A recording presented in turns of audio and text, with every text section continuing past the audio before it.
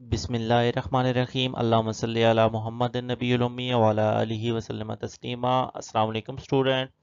Students, یہ basic physics کے video lectures کی سیریز بنانے کا میرا جو بنیادی مقصد ہے، وہ سٹوڈنٹس کے اندر فزکس کے بنیادی جو کنسپٹس ہیں، ان کو کلیئر کرنا ہے۔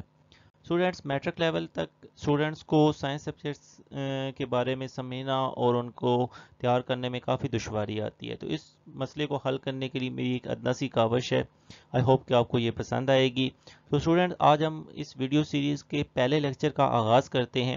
تو اس ویڈیو سیریز کے پہلے لیکچر کے اندر ہم مندر ذیل امپورٹنٹ پوائنٹ ڈسکس کریں گے۔ ان میں سب سے پہلے اسٹوڈینٹس یہ جاننے کی بہت اہم ضرورت ہے کہ فزکس سائنس کی ہی ایک بنیادی شاخ ہے، بنیادی برانچ ہے۔ تو فزکس کو جاننے سے پہلے ہمیں سائنس کی ڈیفینیشن کرنا ضروری ہوگی۔ تو پہلے ہم سائنس دیکھیں گے، اس کے بعد فزکس کیا ہے، یہ چیز ہم دیکھیں گے۔ تو آئے ہم چل سائنس کی طرف کہ سائنس کون سا نالج ہے۔ The knowledge gain through observations and experimentations یعنی مشاہدات اور تجربات سے حاصل ہونے والا علم جو ہے وہ سائنس کہلاتا ہے۔ انسان نے اپنی تخلیق سے ارد گرد کے اپنے فطرت اور ماحول کے بارے میں مختلف قسم کی مشاہدات کیے اور انہی مشاہدات کی بیسس پہ پھر انسان نے اپنے مشاہدات کی بیسس پہ تجربات کیے۔ ٹھیک ہے؟ تو انہی مشاہدات اور تجربات سے جو انسان کو علم حاصل ہوا، وہ سائنس کا علم کہلایا۔ ٹھیک ہے۔ انسان اپنی تخلیق کے شروع سے ہی اپنے جو ہے نا، علم کی جستجو کرتا رہا ہے۔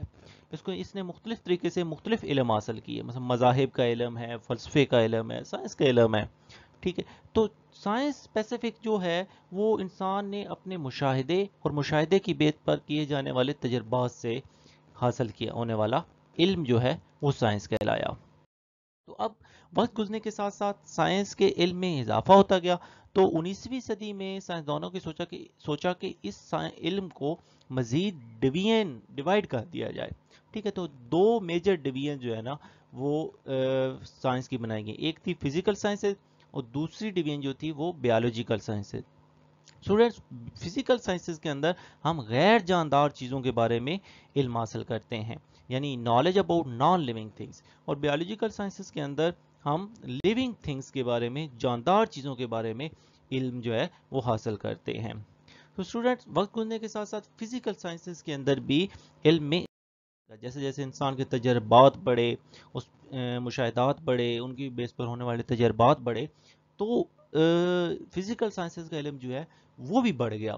تو پھر انیسویں صدی میں ہی سائنسدانوں نے فزیکل سائنس کو بھی مزید فائیو میجر برانچز کے اندر جو ہے وہ تقسیم کر دیا۔ ان میں پہلی برانچ فزکس ہے، دوسری کیمسٹری ہے، تیسری آسٹرونومی ہے، چوتھی جیالوجی ہے، اور ففتھ اور لاسٹ ون جو ہے وہ میٹرالوجی ہے۔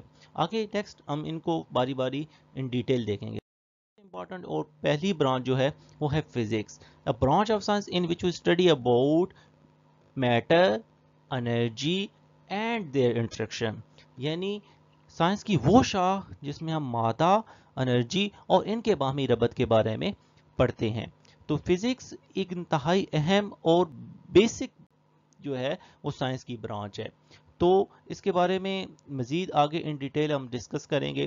آئی ہوپ کہ آپ کو یہ میری ویڈیو پسند آئے گی، ہوگی۔ تھینکس ویری مچ اور آخر میں آپ سے گزارش کروں گا کہ اس کو مزید بہتر کرنے کے لیے مجھے کمنٹس دیں تاکہ ہم اس کے اندر مزید امپرومنٹ کر سکیں۔ بہت شکریہ۔